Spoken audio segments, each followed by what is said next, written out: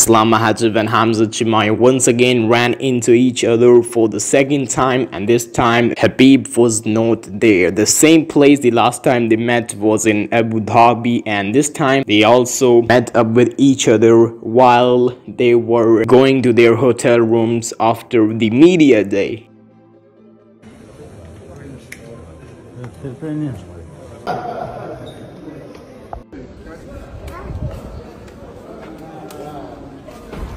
Both fighters are looking great and in great shape as well. They are ready for UFC 294 and do you think that which fight is more exciting? Is it Khamzat versus Usman or is it Islam versus Volkanovski?